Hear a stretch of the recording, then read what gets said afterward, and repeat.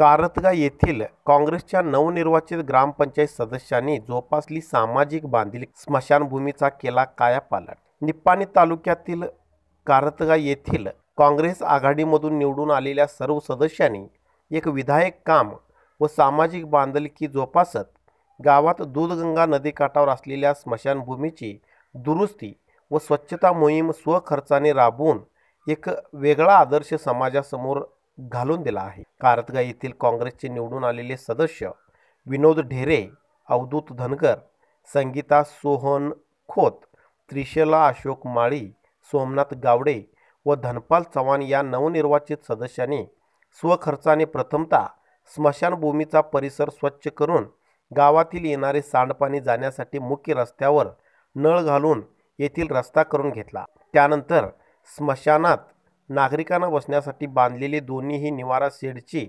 मोठी दुरावस्था झाली होती. त्या शेडची रंगरोंगटी करून त्यावर सुविचार लिहून एक मार्मिक संदेश नागरिकांना देण्यात आला आहे. त्यानंतर अंत्यविधीसाठी येणाऱ्या नागरिकांना बसण्यासाठी आसनांची व्यवस्था व्हावी यासाठी सहा बाकडी ठेवण्यात आली आहेत. कचराकुंडी पाण्याची सोय व कंपाऊंड करून या परिसरात वृक्षारोपण करण्यात येणार आहे.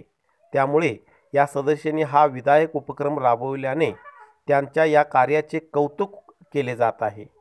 यावेळी बोलताना सदस्य धनपाल चव्हाण व सोमनाथ गावडे म्हणाले की आम्ही निवडून आल्यावर गावासाठी विधायक काम करण्याचा मानस केला होता. त्या अनुषंगाने आज आम्ही सर्व सदस्यांनी स्मशानभूमीची झालेली दुरावस्था पाहून ती दुरुस्ती करून एक चांगला स्मशानभूमी बनवण्यासाठी कटिबद्ध असल्याचे सांगितले. समिती आम्ही निवडून आले सहा सदस्य. आम्ही सर्वांनी एकजुटीनं स्मशानभूमीतील स्वच्छता करण्यासाठी एकजुटीने कार्य केले. फार तिथं कचरा साठलेला होता. तो साफ करण्यासाठी आम्ही सहा सदस्यांनी एकत्रित प्रामाणिक प्रयत्न करून इथं रंगरंगोटी स्वच्छता आणि बाकडी बसण्याची बसवले. स्वखर्चातून हे कार्य आम्ही पूर्वीपासून म्हणत होते ते पूर्ण केले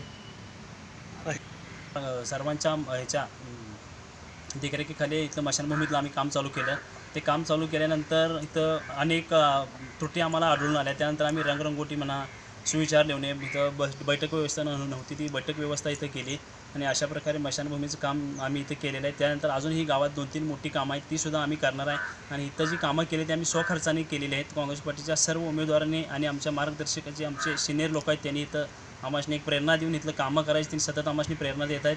ते आमच्या सिनियर लोकांचं आम्ही मनापासून आभार मानतो त्यांचं सहकार्य आम्हाला असंच राहू दे पाच वर्ष अशी मी यावेळी माजी ग्रामपंचायत उपाध्यक्ष दीपक खोत अशोक माळी सोहन खोत व कार्यकर्ते उपस्थित होते.